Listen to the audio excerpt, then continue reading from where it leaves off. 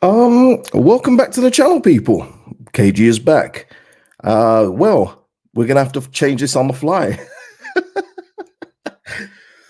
oh, the best laid plans, eh? The best laid plans. Look, I'm gonna have to change the title of the video. there is no battle. Listen, we'll, we'll we'll talk about it. I thought today we were gonna have news of a signing to to bolster the squad. Um, but as as I was going live and I was, as I was collecting information, obviously a lot of people in the chat are saying it already, but there was already a red flag from a previous post from Fabrizio, and I thought, okay, with Luton interested in this player, maybe it's not going to happen. But by Belgian sources, you would think that he was set to come here. But as I've said many times, the Premier League is an unbelievable character dangle, and uh, I think we've just fallen victim to it yet again. Um, okay let's let's let's let's get on with the show yeah? Uh please like the video subscribe to the channel and of course drop your comments below. Um lord Sheargraph saying probably an agent decision over a footballing one. Well listen for the people that are listening um we were oh man this this seems so it seems so old now.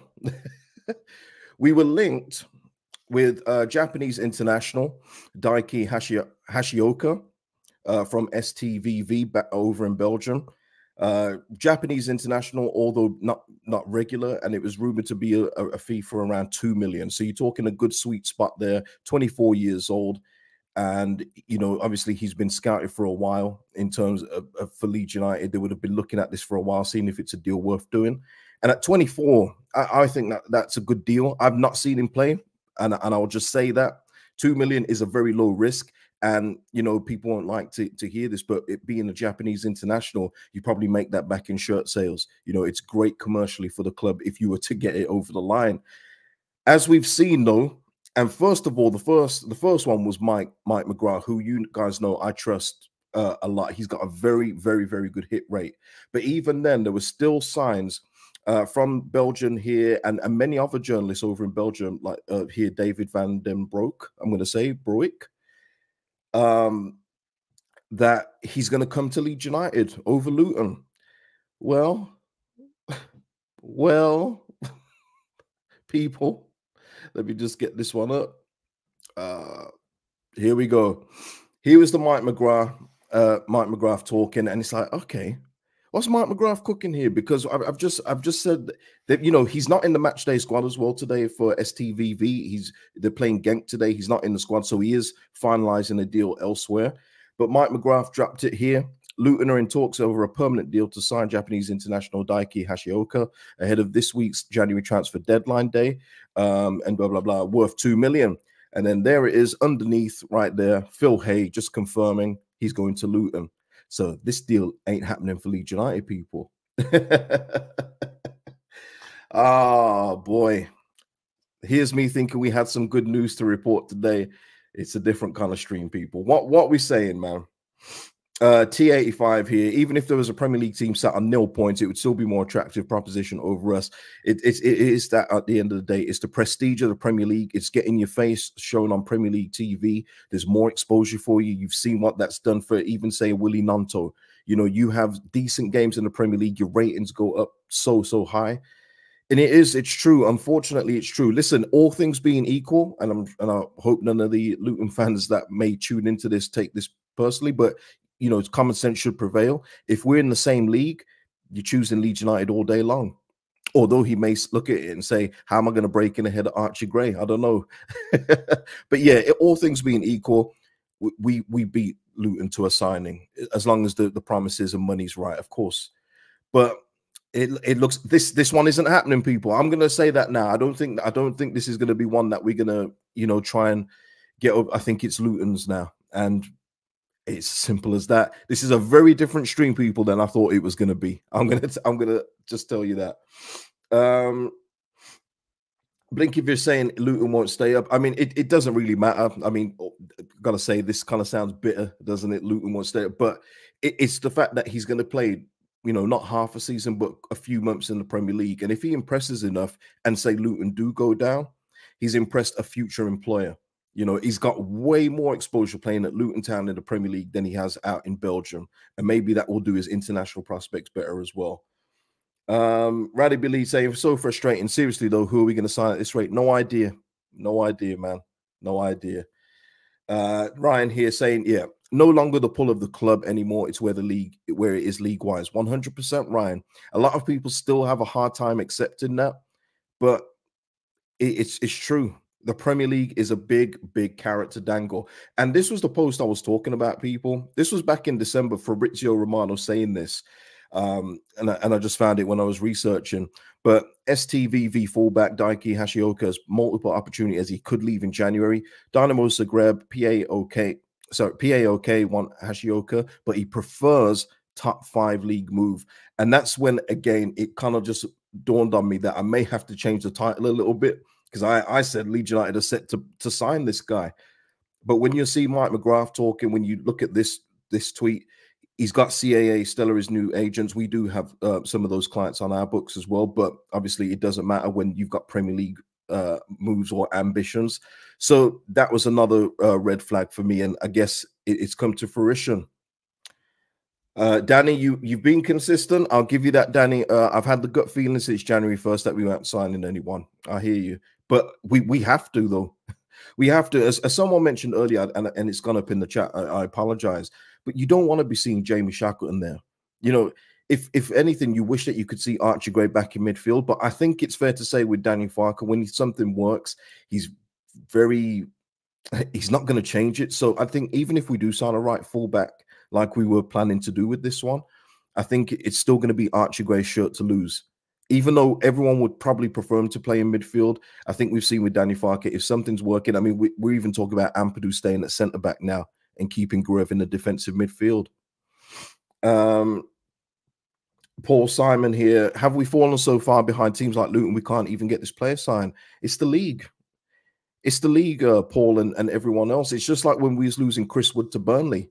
Um, come on, guys. I mean, are you really going to pick Burnley over Leeds United? You're not, are you? But if Burnley are in the Premier League and we are in the Championship, there's only one place to be. Just look at the, the exposure Premier League gets you. Look at the sponsorship deals that it gets players. It's it's a ridiculous money train. It's a ridiculous money train, and money trumps a, a lot of things. Money uh, trumps a lot of things.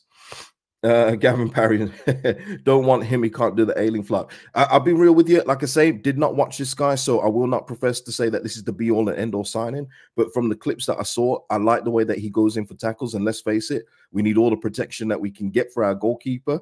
So you know, it would have been good. So it looks like we are looking for a more defensive minded fullback rather than one that is a a, a Roman one. So look, we'll, we'll see who comes up next. We'll see who comes up next, man. Um, Richard is saying, KG, the proof is in the last six winter windows. Even with Bielsa, we don't sign players in January. Well, we do sign players in January. One of those was JKA. if you've forgotten that one, I tell you, the, the, the bank accounts ain't forgetting JKA. But I'm, I'm I don't go by this kind of stuff, Richard, and everyone else. Just if you haven't signed someone in the last six windows, I don't. This is not true anyway. It, it doesn't mean that you're not going to sign anybody else in the future. It, it, that just doesn't wash with me. Sorry. Um, uh, Matt here. If we stay in the championship, then see what we replace Creed, Georgie, etc. With yep, trying to tell him Matt, we cannot stay in this league. We we will lose. We will lose those players. Exactly, Lord Sheargraph. Rutter was a January sign. That's what I'm saying. I, I think people just talk uh, for the sake of it and stuff, just to put out stuff. But even if just to say you you didn't sign anyone in the last four Januaries, does that mean in the fifth one you're not going to? And especially under new ownership, it's a completely different regime. Well, not completely different, but it is a new regime. Uh, Ian here saying, why not buy a left back and play Byram right back? Surely a left footed left back is more urgent. Firpo will be injured soon. Yeah, I mean, you'd only hope, uh, Ian and everyone else, that we are looking at both. We cannot just go in with one. That it won't suffice. We need help at the fullback positions. That is the that is the one area of weakness that we have. So, yeah, I, I, I'm I'm with you, Ian. I'm with you. Um, let's have a look. do much do the duty. Uh, Freddie Mack here saying, if we stay in the champ, we won't lose Cooper, Poveda, or Shaq. Exactly. Yeah. I mean, those are the players that you won't get rid of. I mean, I, I think Poveda and Shaq aren't they up in the summer?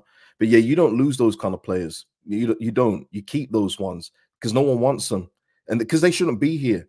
and, and, and it sounded harsh yesterday on the match reaction when I was saying it, but they should not be in this Leeds United team. If we're if we're serious about promotion, they're not good enough. So it, I was hoping that if when we do sign a right back, maybe Shackleton stays for the rest season. I don't know, but I think that he, he could do the move away, and we could use whatever wages he takes up on on another place in the squad. Yeah. Um. Yeah, Nate here saying if we got two players, then I'd be very surprised. Uh, I wouldn't be surprised, as we know that um Richard, Richard, somebody literally just said that we got Georginio last last summer, last uh, January. Come on, man, keep up. Um, it, Nate saying if we got two players in, I'd be very surprised. No, I wouldn't be surprised. There's still a lot of business to be done, especially around transfer deadline day. It's never ideal. Prices, like let's say, if we were to sign this player on transfer deadline day, it would probably go up to say three million rather than the two, maybe three point five. But this is what they've done. If you if you're not active, if you're not proactive in the window, get your business done nice and early. This is what you leave yourself open to. And when you're waiting for other dominoes to fall, which it seems seems like we are doing, this is what happens. Um let's have a look. Yeah.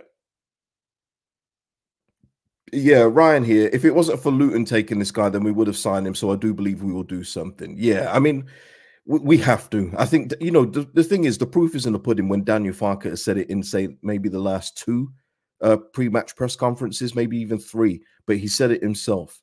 You know, and we've ignored this before when previous managers have said we need something. All of a sudden, next week we don't need something. But yeah, we need to follow through with this, and, and the 49ers need to back him and help him out. Even if it is just for squad strength, we need that because clearly he don't trust a lot of the bench. um but yeah, I mean, I mean, I was gonna bring up his, his page and everything, but there's there's no point now. Is to forget it. See you later, uh. Uh, all the best, all the best. How much of a grand opening, grand closing is that on the stream? I'm just glad I didn't record the thing because it would have been out already. it would have been so out of date, and it would have only been uploaded for like ten minutes. Crazy, crazy. Um, Mr. Ripper here saying uh 49ers did the same in summer late and stuff. Yeah, we did some some actually they did a couple wasn't it like mid-July? But yeah, you're right. They did do a couple of moves late in the window. And yeah, that's what I'm saying. As long as they get it done at this stage, it's the 28th of January. As long as they get it done, that's what we've got to hope for. Yeah. And then we'll we'll talk about the transfer window in a in a separate stream when the transfer window is done. But yeah, what a grand opening, grand closing on that crazy stuff. So yeah, that is it, and um, th- that is it for that. I'm just going to go in on a couple of comments from yesterday. I didn't do Daniel Farke's uh, post-match comments yesterday, just to, just to tie it up. I, I, read the Luton, sorry, not Luton, the Plymouth Luton on my mind. I read the Plymouth uh, his thoughts on it, and I completely agreed with him. Just going to get your thoughts on this. So if you want to speak in the live chat now or in the comments, please do so. Uh, Farke on the timing of his substitutions. This is, you know, the cup game. I wouldn't say they grew into the game. If you don't kill the game with so many chances after 60, 70 minutes, they they think they speculate a bit more. It's quite normal. I mean, yeah, I mean, it wasn't that they they grew into the game. They were better in the second half. Growing into the game would suggest that we were good in the second half, and then Luton just suddenly found a second win and came into it. I, I, I disagree with that. But is just basically defending his position, saying, "Listen, I don't want to make changes. Leave me alone." That's what he's basically saying, isn't it? Um, Gavin here saying, "Poor defending for their goal, shocking." Yeah, it was it was all bad. It was all bad, and uh, and and I would and I say as well with with with that um Meslier. I mean, I spoke about him yesterday, but it it was his distribution as well in the game. You know, I'm I'm not even talking about him coming for the you know being out of place for the looped looped uh, effort, what Byram clears off the line or anything else like that. His distribution was so poor yesterday, and it didn't help us keep the moves flowing. It actually hindered us when it kept going out of play. But look, Meslier will be here until the end of the season. It is definitely a position for me that we reassess in the summer, no matter what happens. No matter what happens, because you don't need an asset that's allegedly worth so much in this division if we were to stay here. So I hope that they are making plans if we don't go up to get a solid, just a, a solid goalkeeper at this level and get the money for him and, and strengthen on the outfield. Um, Blinky Fish, why was Klaesson dropped for the cup? it I, don't know. I mean, no. In all fairness to Danny Farke, he does he did say that he wanted to go strong, and if you look at the team, it was very strong. And then he and so that's why he would have played his first choice, which is Meslier. Yeah. Uh, Lee Goldrup here saying he didn't narrow the angles well enough for their goal either. is just going backwards. Yeah, yeah, he is. Um, Holy Ghost is gutted. But but in that as well, we was told that Summerville was rested. I do need to just highlight this as well. Um, Farke said Summerville had issues with it, with an adductor yesterday, um, the muscle injury. He's hoping that he'll be back in training next week and in contention for Bristol City. So at this moment in time, I thought Summerville. It was reported that that he was rested. Well, he's got a minor injury issue, and and for me that that's a worry because then it's not just choosing out of Jaidon Anthony and Willie Gnonto to take Dan James' place, you're then having to replace Summerville, And yeah, I mean, listen, Jaidon Anthony at the moment from the game yesterday, he gets the nod in the next game for me.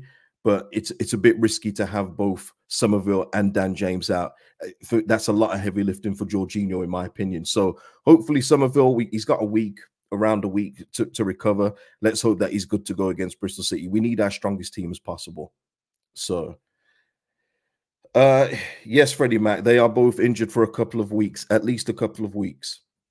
Uh, Blinkyfish just on Meslier. Meslier so poor has just hasn't improved in the last two seasons. He hasn't. He hasn't. Um, he hasn't improved at all. He's regressed a lot. And even this season, he's got a lot of clean sheets. But what the st the stats do tell you as well that the defense is doing a lot of the work. He's he's hardly seen any shots and that's the, that's the worst thing. He's hardly seen any shots, and then some of them that he he's actually saving or attempting to save, he just looks all over the place. Yeah, he's just not. He's just. I wish that it had gone better. If you can keep a goalkeeper for a 10, 15 year run, which is very rare these days, then it's good. You don't have to keep on looking for something new, but he, he's gone backwards. And the interest in him is, as well kind of proves that. This guy was being scouted by some of the best clubs in the world at one at one stage, and now you don't hear a whisper about him. It, it's very telling. Um, sorry to me, but your eye test and the stats, if they if they back everything up, it does tell you a story. Um, Demar here. when you say defense, it's just rolled on. Yeah, it's, it's all mad. Listen, Archie Gray did well um, uh, when when he's right back on in the main. But you're right. Rodon is the glue that holds it all together. But Ampadu's done his thing as well. Let's let's be fair to Ampadu next to him. Straucher's good next to him as well. You know, I'm not going to discount that, but Rodon is definitely the glue back there. I, I guess some people will say Straucher's, but Strauch isn't assured of his place when he's when he returns fit. We could be seeing an Ampadu Rodon partnership from here to the end of the season. We don't know. We don't know. Um, Akon Tony is saying, why are we so down? It was only a draw in the FA Cup. We move on. I think it's just more the point of of adding another game in uh, for going to a replay. I'm not down, uh, Tony. I, I, said yesterday, and I, and I maintain it. I don't think it hurts our momentum going into Bristol City. It's a, it's a different game. There'll be different players on the pitch. Uh, there'll be a stronger team on the pitch. You hope. So yeah, it, it doesn't do you know, get me down in that way. I just wish that we could have finished that Plymouth team off. The team that we had out there should have beaten that Plymouth team. And it's as simple as that. But we didn't do enough to, to kill them off. And Plymouth earned the draw. They did. Um Let's have a look. Yeah, Matt saying trouble is two goalkeepers on the bench shows we don't have the depth to rotate.